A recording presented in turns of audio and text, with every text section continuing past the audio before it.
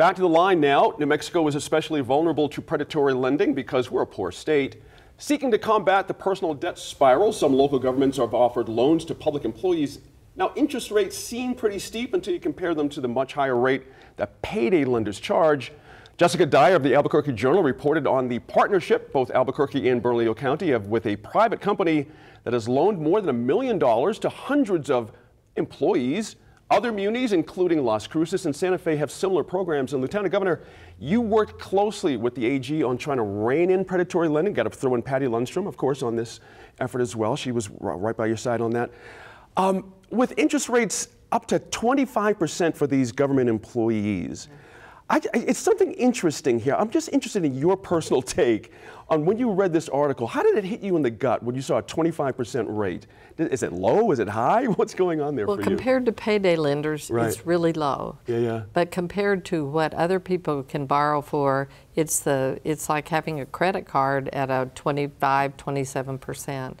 So it's, right. um, but it is a way to, uh, I think, provide a benefit to your mm-hmm. city, county employees that they may not have otherwise. Mm-hmm. And when we talk about salaries in general at the at the municipal level, mm-hmm. and if people get in a bind, um, so initially I was like, oh, we can't celebrate 24% interest rate. Mm-hmm. But it, I, when you put it in the context of being a, an employee benefit and getting people out of a jam, maybe. Mm. It looks like most of them are rather small loans. Mm-hmm. They have a definite payback method because it comes out of your paycheck and, right. and it has a limit how much they can take out of each paycheck. Mm-hmm. So it doesn't put them even further, so they're going to go really off to another payday. But New Mexico mm-hmm. has had a scourge of payday lending for there. so many years. Right. We have 600 payday lenders in this state. Wow. They're poorly regulated because the banking under the regulation and licensing has very few people, and they do payday lenders, ATMs, state chartered banks. Wow. And they have like, I believe, 10 people. Yeah. Wow. And they do all the ATMs. They even monitor, you know, ATM rates and fees. Mm-hmm. Mm-hmm. So we don't have the infrastructure to regulate payday lenders. Right.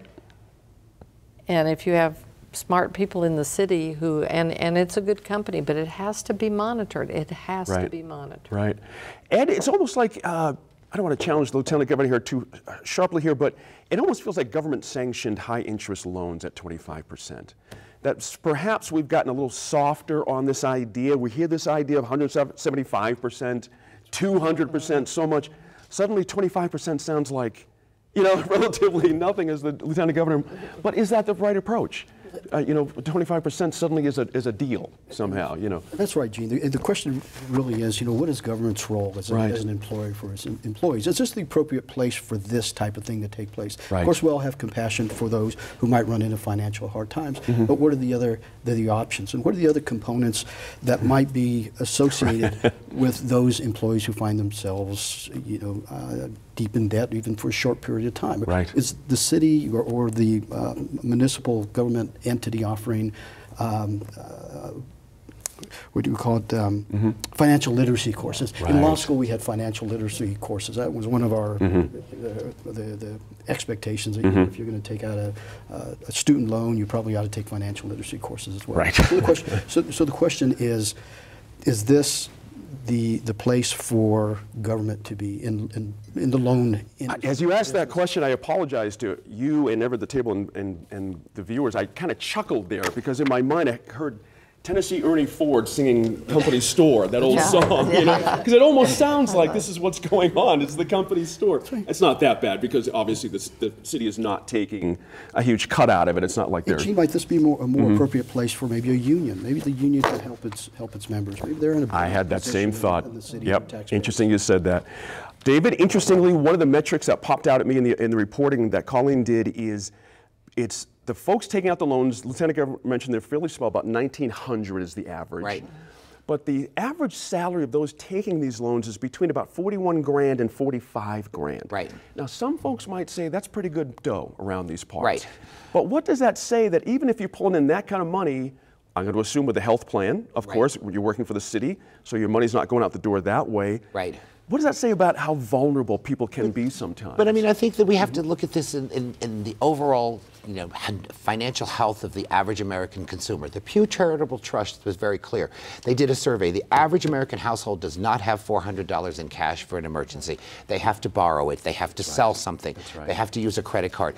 And I think that, that if we look at that, we have an economy that's hostile. It is a very tough economy. If you're a municipal employee, you mm-hmm. may need that loan. And I think to some credit that municipality, municipalities, this program said, we have employees that are going to need this program. Let's get them the program. We're protecting them from a higher interest rate.